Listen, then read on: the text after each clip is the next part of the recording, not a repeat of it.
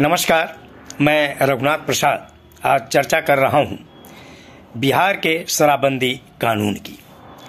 दो दिनों पूर्व बिहार के सारण ज़िले में एक दुखद घटना घटी है, जहरीली शराब से लगभग 40 व्यक्तियों की मृत्यु हुई है।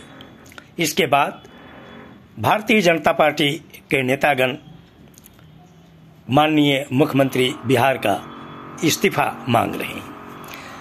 बिहार विधान मंडल में उनके द्वारा विरोध प्रकट किया जा रहा है। इसके साथ ही आरजेडी के एक विधायक माननीय श्री सुधाकर सिंह जी, जो लगातार विख्यात हैं, माननीय मुख्यमंत्री बिहार के प्रति पूर्वाग्रह से ग्रसित होकर आरोप लगाने के उन्होंने भी इस पर प्रश्न उठाया है। श्री आरसीपी सिंह, पूर्व राष्ट्रीय अध्यक्ष श्री आरसीपी सिंह पूर्व राष्ट्रीय अध्यक्ष जेडीयू ने भी इस पर प्रश्न उठाया है। साथ ही, कांग्रेस पार्टी के विधायक दल के नेता श्री अजीत शर्मा जी ने भी। इलेक्शन स्ट्रेटजिस्ट श्री प्रशांत किशोर जी ने भी इस प्रश्न उठाया। मैं यहाँ पर यह कहना चाहूँगा कि राष्ट्रपिता महात्मा गांधी जी ने तो एक बार कहा था कि यदि उन्हें एक दिन के लिए देश का शासक बना दिया जाए तो वो पहला कानून पास करेंगे कि शराब की बिक्री पर वो रोक लगा देंगे। बिहार में जननायक कर्पूरी ठाकुर जी ने 1977 में शराबबंदी लागू की थी। गुजरात में आज भी शराबबंदी लागू है। गुजरात में करोड़ों करोड़ रुपए के अवैध ड्रग मिले।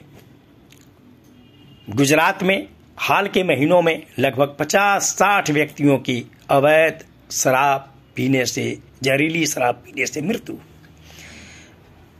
अभी एक डेढ़ महीना पूर्व मोरबी पुल हादसा हुआ। मैं बिहार भाजपा के नेताओं से, श्री आरसीपी सिंह से, श्री प्रशांत किशोर जी से, श्री सुधाकर सिंह जी से ये अनुरोध पूर्वक कहना चाहूँगा। कि क्या आप लोगों के द्वारा कभी भी गुजरात में जो 50-60 व्यक्तियों की मृत्यु हुई जहरीली शराब पीने से, इस पर आप लोगों ने कभी कोई प्रश्न उठाया था? क्या वहाँ के माननीय मुख्यमंत्री जी का इस्तीफा आप लोगों ने मांगा था? नहीं ना। तो फिर क्यों उस गलत चीज़ का आप सपोर्ट कर रहे हैं? जो लोग जहरीली शराब पिए, पहले तो उनको पकड़ना चाहिए ना जिन्होंने जहरीली शराब बनाने का धंधा किया।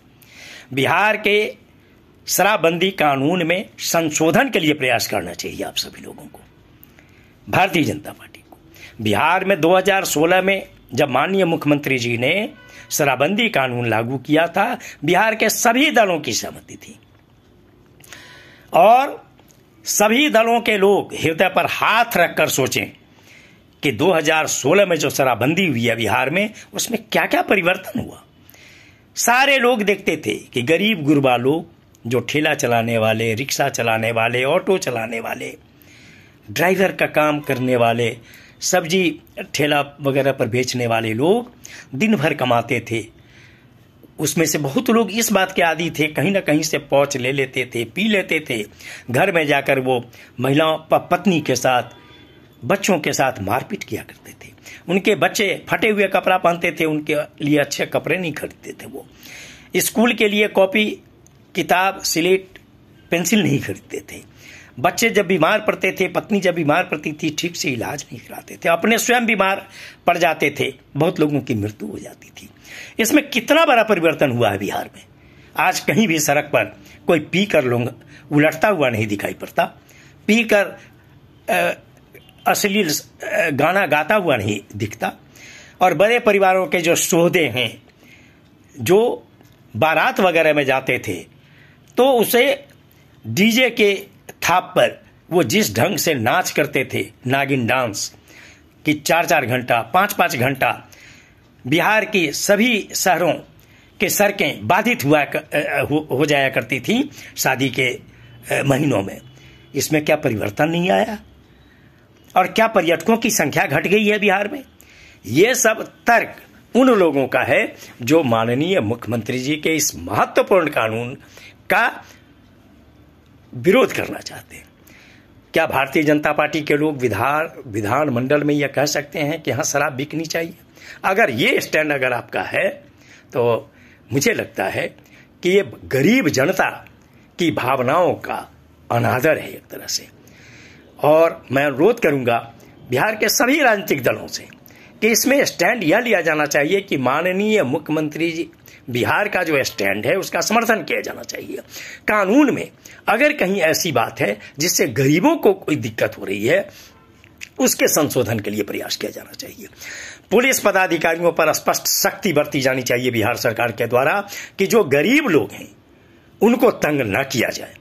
उन्हें परेशान नहीं किया जाए। उनसे जो बड़े लोग शराब पहुंचवाने का काम करते हैं घरों में, पहले उन बड़े लोगों को पकड़ा जाए जो इस गलत धंधा को बढ़ाने का प्रयास कर रहे हैं। इस अच्छे काम में सहयोग करना चाहिए। आरजेडी के शीर्ष नेतृत्व से मैं अनुरोध करना चाहूँगा कि श्री सुधाकर सिंह जी पर जो गठबंधन धर्म के विरुद्ध लगातार काम कर रहे हैं, उन पर अनुशासनिक कार्रवाई की जानी चाहिए। श्री अजीत शर्मा जी जो कांग्रेस विधायक दल के नेता हैं, उनको अपनी बात को वापस लेना चाहिए। क्योंकि महात्मा गांधी के विचारों पर चलने वाली कांग्रेस पार्टी के नेता को इस तरह का बयान नहीं देना चाहिए। और श्री प्रशांत किशोर जी, श्री आरसीपी सिंह जी, इन लोगों को सोचना चाहिए कि क्या जो भाजपा शासित राज्य हैं, क्या वहाँ जहरीली शराबों से लोग नहीं मरते? जो अन्य पार्टियों के द्वारा शासित राज्य हैं, वहाँ नहीं मरते? जो गलत कर रहे हैं, उनके विरुद्ध कार्रवाई होनी चाहिए। लेकिन शराब बिक्री वापस नहीं होनी चाहिए। बिहार में इस बात का समर्थन किया जाना चाहिए। माननीय मुख्यमंत्री जी को इस मामले में स्टैंड क्लियर रखना चाहिए कि शराबबंदी बिहार में लागू है और आगे भी लागू रहेगी, जिससे गरीब जनता को सबसे ज़्यादा फ़ायदा है, समाज को फ़ायदा है, महिलाओं का सम्मान बढ़ा है।